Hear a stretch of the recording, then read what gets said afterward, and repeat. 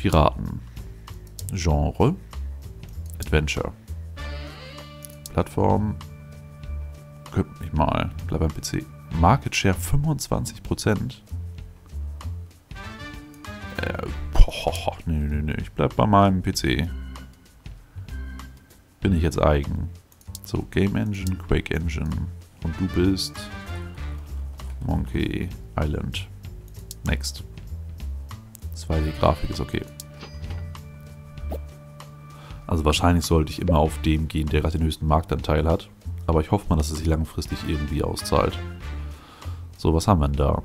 Monkey Island hat ein cooles... Na, wir wollen es nicht übertreiben. Es ist unterhaltsam. Es ist keine gute Story. Äh, ja, ist okay. Oh Mist, ich hätte was anderes anklicken können. Auf der rechten Seite waren so eine Dinger zum Auswählen. Ah, Mist.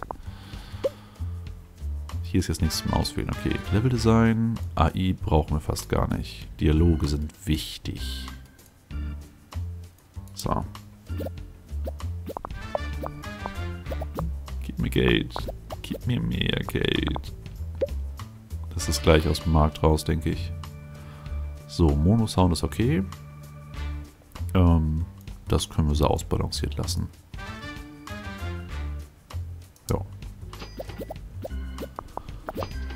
das Spiel ist gleich fertig. Ja, Z hat 73.000 generiert. Also ähnlich wenig wie äh, Space Invader und Eye of the Beholder. Pong war das einzige, was so gut gut was gebracht hat.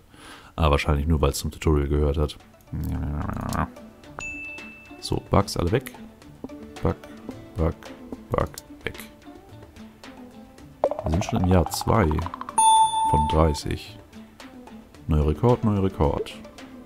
Neue Combo, Riesenkombo, Superkombo. Mal gucken, wie die Kritiken werden. Level Up dauert um eine ganze Ecke. 2D-Grafiken haben wir erhöht. Release. So, schon mal Contract Work. Contracts sind eine gute Möglichkeit, extra Cash zu generieren, falls man wenig Geld hat. Oh, und es generiert ebenfalls Forschungspunkte.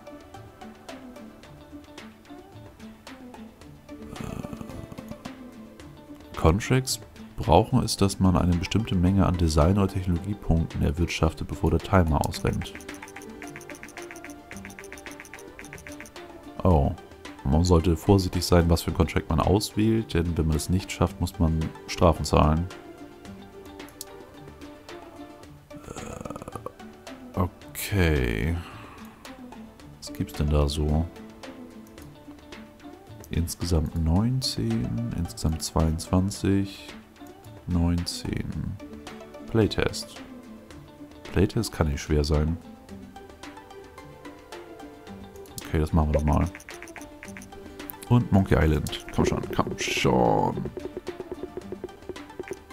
Ah, sehr schön. Sieben ist gut. Oh, und sie lieben es. Ja, das wird eine Geldsau. Piraten und Abenteuer sind eine super Kombination. Nur zustimmen. Gutes Spiel. Ja, das wird Kohle bringen. Kohle, Kohle, Kohle. Kohle, Kohle, Kohle. Kohle, Kohle, Kohle. Manche werden mich dafür hassen, aber das passt einfach. So, äh, schon 12.000 Stück verkauft. Und das Playtesten war auch erfolgreich. und Jason ist wieder da und er bedankt sich, dass wir so gute Arbeit geleistet haben. Äh, er hat alle sechs Monate einen neuen Contract für uns. Wir hätten gerne Forschung. Research. Und zwar New Topic. Rennsimulation. Research. Und die Zahlen gehen nicht immer runter. Da sind sie nochmal wieder hochgegangen. Hier gehen sie wieder hoch. Oh, sehr schön. Und mehr Fans. Wir können jetzt ein Steering Wheel entwickeln. Äh, was haben wir noch so? Gamepad, Steering Wheel, nö. Ich hätte gern ein neues Spiel. Und zwar Racing. Genre. Strategie Racing? Nee, Action Racing. Plattform, immer noch PC. Vielleicht schaffen wir es auch dadurch, dass wir so tolle Spiele entwickeln, dass der Marktanteil vom PC größer wird. Man darf hoffen, ha? Okay, Spiele-Engine ist immer noch die Quake-Engine. Rennspiel. Rennspiele sind nicht wirklich mein Ding. Aber ich kenne auch auf dem Super Nintendo ein Spiel, das war genau. Rock and Roll Racing. Das war geil. Konnte den Gegner abschießen. So, 2D-Grafiken. 30.000 können wir uns leisten. Fangen wir an. So, Monkey Island verläuft sich langsam. Story kann weg. So. Achso, Save Games. Und eine kleine Story. Die habe ich letztes Mal vergessen gehabt. Und trotzdem ist Monkey Island so ein Hit geworden. Also ja, jetzt nicht mehr, aber das passt schon. So, Intelligenz kann hoch, Dialoge können runter. Level Design und AI. Ah. Monkey Island ist weg. Hat 179.000 generiert. Im Vergleich zu den 73.000 von den vorherigen Spielen. Echt schick. Sauer. So. Ne, Mono-Sounds ist okay. Hm, das kann ruhig so ausbalanciert bleiben. Jo. So, drei Bugs ist nicht viel. Okay, vier Bugs. Weg. Ich werde kein Spiel rausbringen mit Bugs, das könnt ihr knicken. Und die TES-Konsole bricht alle Grenzen. Ich liebe die Spiele, die es mit der TS, TS gibt. Und mit einem Controller zu steuern macht so viel mehr Spaß als mit einem Keyboard. Ihr habt doch alle keine Ahnung. So, Finish. Okay, gute Erfahrungspunkte. Neues Topic, neue Combo. Gameplay bald ein Level Up. Wir könnten uns ja von vornherein nur auf ein Genre quasi fixieren. Also ja, das gibt nicht so tolle Boni, aber unsere Level steigern dann ganz schön. Äh, mal überlegen. Aber nee, also jetzt beim ersten Playthrough. Also ich denke jetzt schon mal ein zweites Playthrough nach. Äh, es ist eigentlich ein Let's Test, Gerugon. Nein, es ist kein Let's Test mehr. Das ist jetzt sowas von kein Let's Test mehr. Das macht richtig Spaß. Also auch so wieder zurückdenken, was für Spiele es damals gab und so, das macht irre Laune. Also das spiele ich auf jeden Fall bis Jahr 30 durch. Und eventuell im zweiten Playthrough konzentriere ich mich dann auf eine Sparte, um dann zu gucken, was denn da rauskommt. An so anderen Sachen. Also Release Game. Stopp, Forschung. Oh, schon die ersten Reviews. Eins der besten Rock'n'Roll Racing Spiele. Der Fokus auf die Engine hat ihn gut getan. Lieben es. Game Hero liebt irgendwie alles. Okay beinahe perfekt. Oh, das höre ich doch gerne. Geld? äh, warte. Nein, nein, kein anderes Spiel. Ich wollte eigentlich forschen. Forschen. New Topic. Äh, Fantasy. Research starten und gucken, wie viel Kohle wir kriegen. Bam, Platz 12. Sehr schön. 312.000. Wir haben inzwischen schon 750 Fans. Und Fantasy wird researched. Dann hätte ich doch mal gerne... Äh, neues Spiel. Neues Topic. Fantasy. Genre. RPG. Plattform PC. Game Engine. Immer noch die Quake Engine. Da wir neue, keine neuen Sachen haben. Weil ich halt kein Gamepad und Steering Wheel und was weiß ich entwickeln will. So, also ein Fantasy-RPG.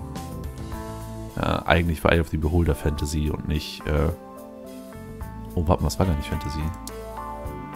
Medieval. Mist, welches davon war jetzt neu? Ich glaube, Medieval hatten wir vorher schon. Also ja, Eye of the Beholder wäre eigentlich Fantasy und nicht Medieval. Medieval, also ohne großartig Zauberei und so ein Rollenspiel fällt mir jetzt nicht so ein. Jedenfalls nicht aus der Zeit.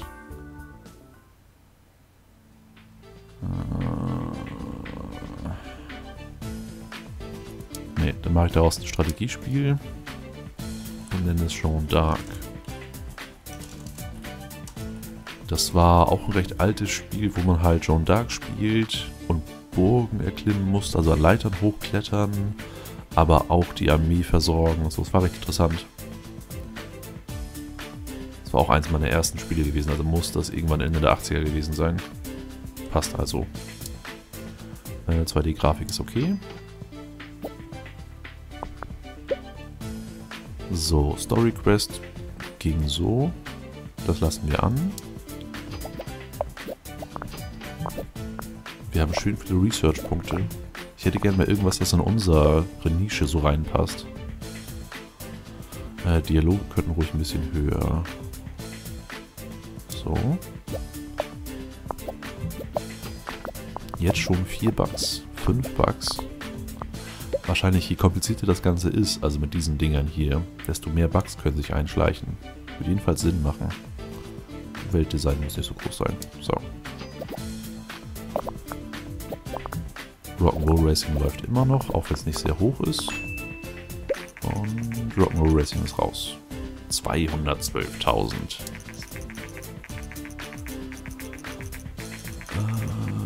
Äh, Studien suggerieren, dass die erhöhte Anzahl an Spielkonsolen und dergleichen einen Markt für spezialisiertere Spiele erschließt. Manche Plattformen sind eher für jüngere Zuschauer, andere sind eher für ältere. Kann ich absolut unterschreiben. Da jetzt mehr und mehr Developer den Markt betreten, ist es wichtig, dass man sich auf eine bestimmte Richtung spezialisiert. So wie ich mit meinem Kanal ja auch. Also sollten wir vielleicht echt jetzt mal auf eine Nische gehen. Hm. Und wir haben ein neues Research-Zielgruppe. Erstmal kurz die Bugs raushauen, dann das Spiel finishen. Oh, wir können das Spiel noch weiterentwickeln, obwohl es... Ah...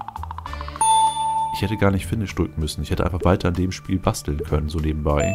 Dass es dann eine höhere Wertung bekommt und mehr Geld bringt. Okay. Gameplay Level Up, AI Level Up. Gerugon Level Up. Release Game. Bessere AI. Und schon haben wir neue Sachen zum Researchen. Ich hätte gerne Zielgruppenforschung. Und die ersten Reviews müssten gleich reinkommen. Genau, für Jean d'Arc. Und 6. Nicht so toll. 6. 7 ist okay. 5. Ab und an mal Spaß. Aber wir haben noch Geld, um jetzt ein bisschen Forschung zu betreiben. Und dann ist unser nächstes Spiel hoffentlich besser.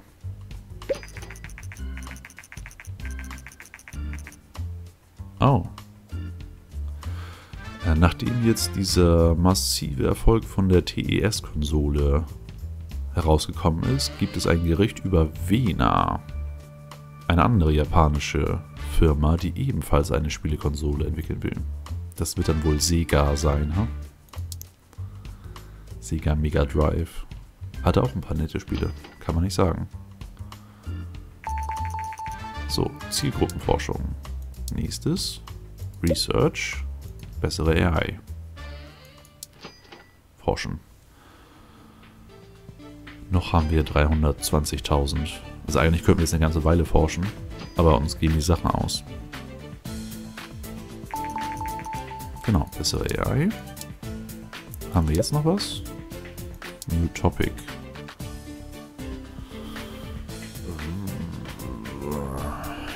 Also er hatte zwar vorhin was gesagt, dass man sich auf eine Zielgruppe festschießen sollte. Aber ich denke mal, das hat mit dem Genre nichts zu tun. Und ich hätte schon gerne alle Genres später freigeschaltet. Also nehme ich jetzt mal Science Fiction. Und in einem zweiten Anlauf könnten wir dann einen Spielentwickler machen, der nur für Konsolen herstellt und nur RPGs macht oder sowas in der Richtung. ja. Und der Sega Mega Drive ist draußen. Die Firma gibt an, dass ihr Master 5 technisch dem TES weit überlegen ist. Mhm.